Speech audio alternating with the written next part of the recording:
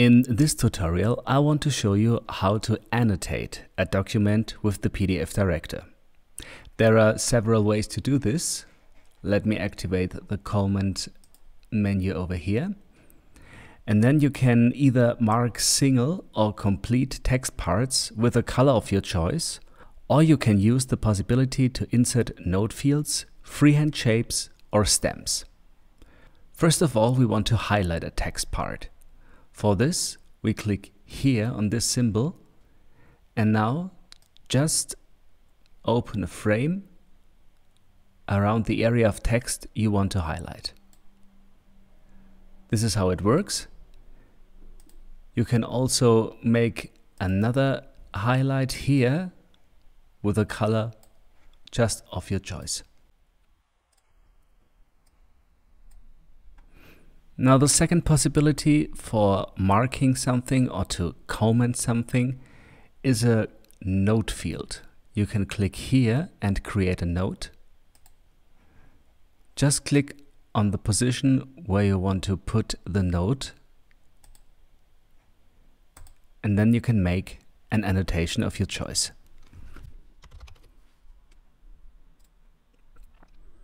The color of this note can also be chosen by this menu over here, stroke color, in the first place.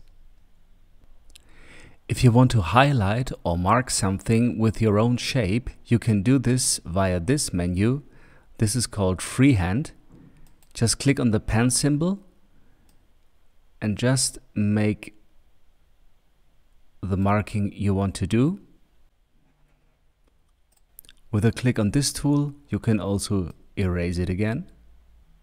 And with the menu Shapes, you have the possibility to choose from several forms you can insert as a new highlight or as a new possibility to mark a special position within the document.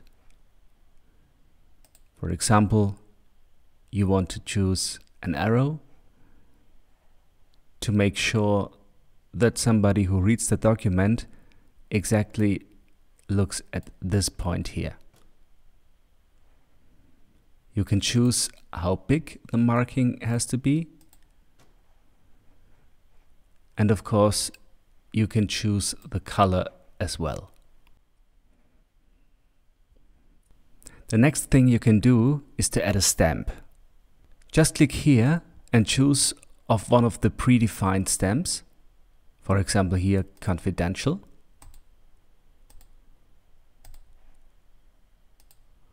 I'll click on this one to create your own.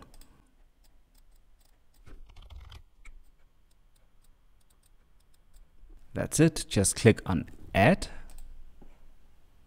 Proceed with yes. And now you have the possibility to insert your new stamp anywhere you want in the document. If there are several comments in a document after editing, you can see them here in the side column. To do this, click on this icon in the column and now you can see directly which highlights and comments are contained in the document. Now you can jump to the respective place or delete a comment completely.